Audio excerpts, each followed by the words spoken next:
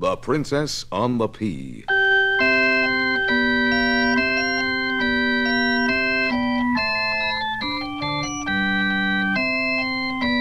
There was once a prince who wanted to marry a princess, but she was to be a real princess.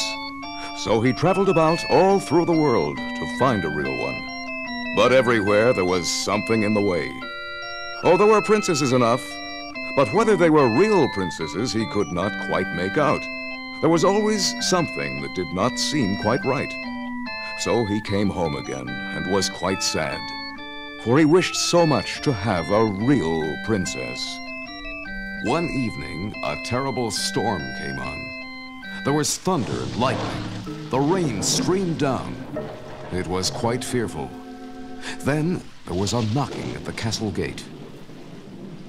And the old queen went out to open the door. It was a princess who stood outside. But mercy, how she looked from the rain and the rough weather. The water ran down from her hair and her clothes. It ran in at the points of her shoes and out at the heels. And yet she declared that she was a real princess. Well, come in and dry yourself while I prepare a bed for you. The princess did as she was directed, while the old queen went to prepare her bedroom. First, she took off all the bedding and put a pea on the flooring of the bedstead. Then she took 20 mattresses and laid them on the pea.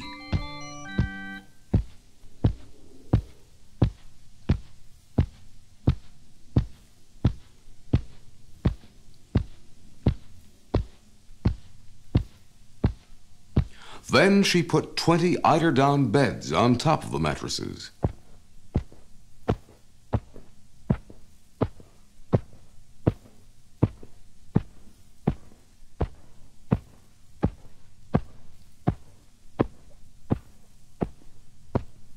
On top of this, the princess was to lie all night. And she did. When morning came, the queen spoke to her. Well, my dear, how did you spend the night? Oh, miserably. I scarcely closed my eyes all night. Goodness knows what was in my bed. I lay upon something hard, so that I am black and blue, all over. It was quite dreadful. Now everyone saw that she was a real princess. For through the twenty mattresses and the twenty eiderdown beds, she had felt the pea. No one but a real princess could be so delicate.